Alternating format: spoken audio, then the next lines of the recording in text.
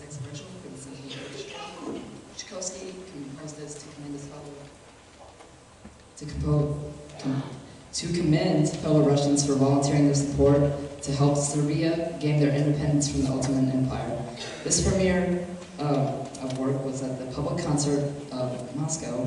held at, uh, as a benefit for Siberian who fell victim to, uh, to the Turks and to encourage more public support. Several Serbian melodies are featured throughout the composition, as well as a fragment of the Russian national